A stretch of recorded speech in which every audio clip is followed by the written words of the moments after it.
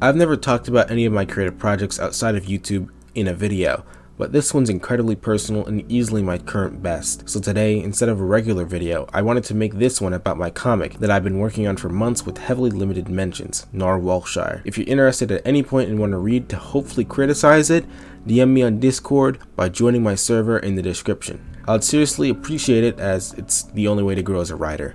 So what's it about? My comic Narwhalshire is about a 17 year old narwhal guy who's confused about his sexuality due to the environment that he's grown up with conflicting with him. So as a test for himself, he goes onto a dating website and meets a 25 year old man named Arthur and they start dating.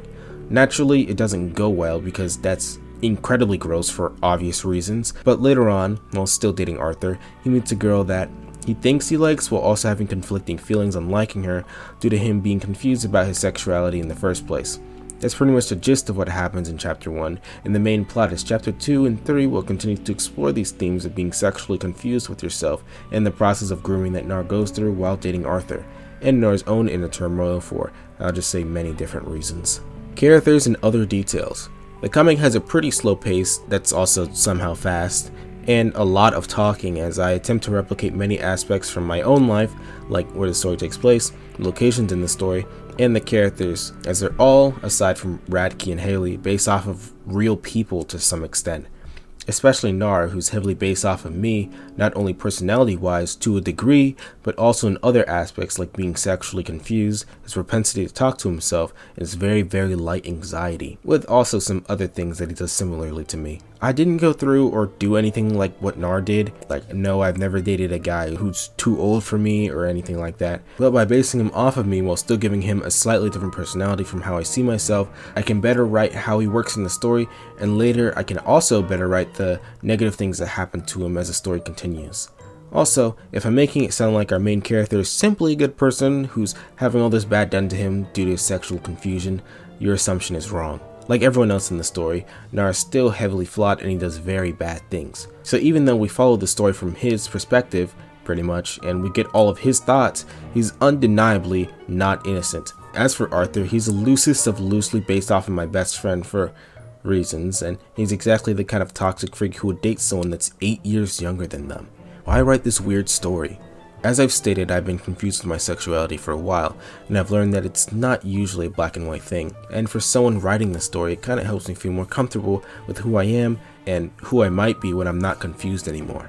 I also haven't seen any LGBTQ plus stories that explore the negative effects of a very confused, maybe gay young person dating someone who's not only too old for them with clearly ill intent, but also weird emotional baggage, or any stories that seriously look more into what the horrible experience of being confused about your sexuality in an intensely homophobic environment looks and feels like, which is something I want to tackle more as a B plot for Nar himself in chapter 3 or in the middle of chapter 2. It's not only personal but original, and LGBT issues are something that I'm becoming more passionate about as time goes on and as I continue writing this story.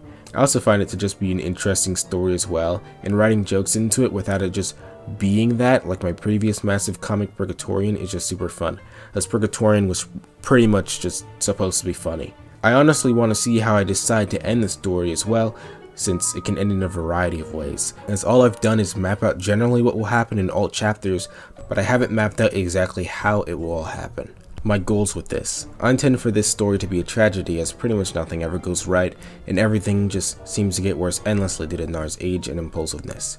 It's undeniably intended to be a sad story with some humorous parts due to absurdity or awkward dialogue, but I do have a reason for this. What I want people to take away from this comic is mostly two things. Sexuality is very confusing and inconsistent, especially when you're a teenager, and two, a better understanding on how grooming and verbal abuse affects people. Realistically, as a sexually confused 18 year old myself who hasn't been groomed or verbally abused in the way that Arthur abuses Nar before, these are pretty difficult writing goals to achieve, but I think I can do it. Again, I'd like to see if you all don't think I can by reading my comic, which I will be sending to whoever asks in my Discord DMs.